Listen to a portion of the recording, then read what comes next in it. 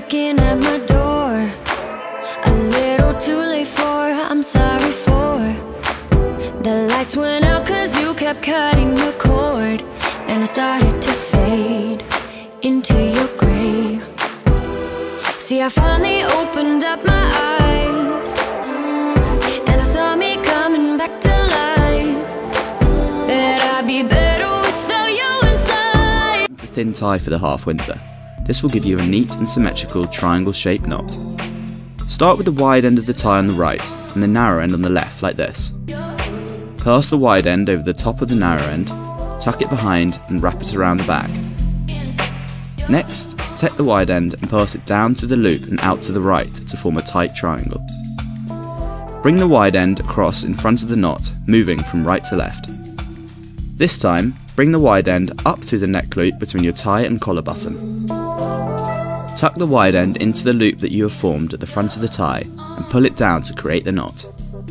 To finish it off, hold onto the narrow end and push the knot up into place. You can make the knot smaller by pulling down on the wide end.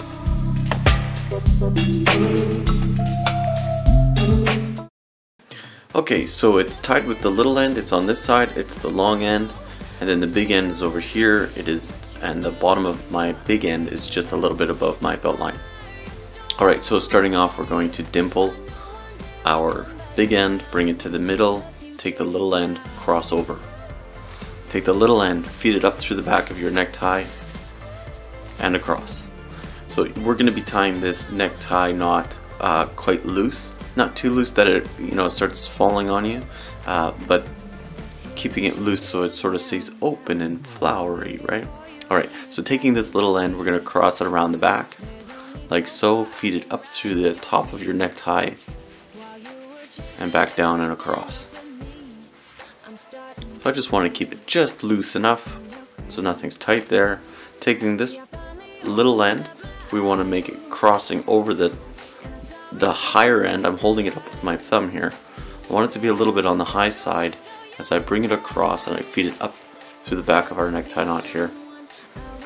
I don't want it falling down. So this is the part where I, I tend to tighten this part up a little bit because I want to keep this a little on the high side. Alright, so it's not going to be perfectly tight, but I just want it to stay up there. Alright, taking the little end now, crossing over, feeding it back in behind and around, and this is it, we're almost done. We'll feed the top end down through our neck hole again, and we're going to tuck it in behind our uh, collar here. So it's not as tight as, it, or it's a little loose for me at this moment.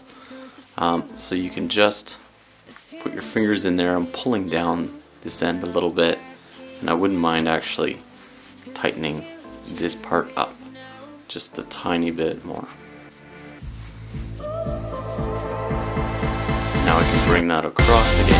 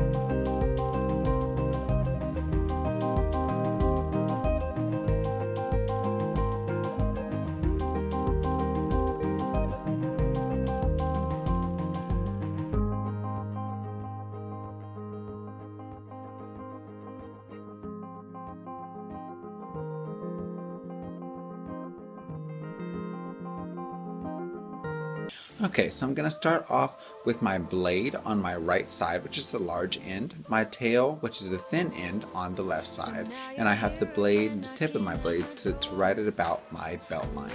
I'm going to go ahead and create my power crease just by pinching and pulling to the center, cross over with the tail end, and wrap around the back, up through the middle, just like so. So this is what we presently have. Okay? From here, I'm going to go ahead and take this baby. I'm just going to fold it this way. So I've now folded it under and to the right, like an L shape. I'm going to go ahead and wrap around the back, back up through the center, and bring it back on down. From here, I'm going to go ahead and do the same thing I just did, but now I'm folding in an L shape facing outward. So I'm coming up and over. We're to wrap around the back again. And once I have that, I'm now bringing it over to this side here. And this is where it can get a little tricky. So from here, I want to go ahead and create like that backwards L shape. So I'm gonna fold it just like so. Once again, I'm taking it like this, folding it in and up. So I've got my L type shape here. All right. Now this is where stuff gets a little extra. Okay, so I'm gonna insert my finger right in this loop here. I'm just gonna slide the tail of that tie right through that loop. So I'm now underneath the blade and in this loop right in here. And I'm gonna bring it back up and over. You can see the way that my tie naturally wants to face. So I'm gonna just go ahead and fold it up in the same manner that I've been doing. I'm gonna bring it right in through this top loop. Okay, so up, over, fold it up. I'm gonna go ahead and hold it right there. I know some of you guys are thinking like this is so difficult, and yes, at first it really is. It takes a little bit of trial and effort, but you'll get it. Don't worry with it too much. Okay, and from here, I'm just gonna go ahead and take this baby and fold it. I'm gonna wrap it around. And when I bring it in here I'm actually going to bring it into this second loop right here. So I'm gonna go ahead and keep this baby folded the whole way down and just slide right in between these two loops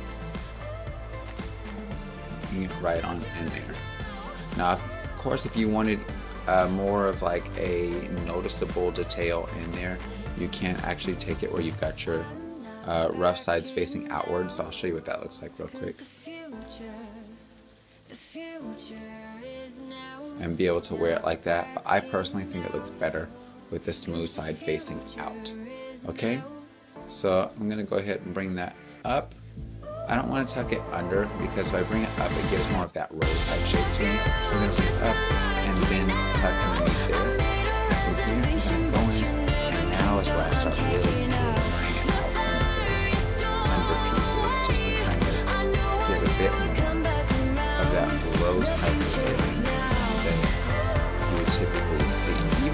this is the carnation knot. I love how much it looks like. Okay, so from there I'm going to go and fold this color down, have a look and see how it looks. Okay, and I'm pretty well satisfied with that, so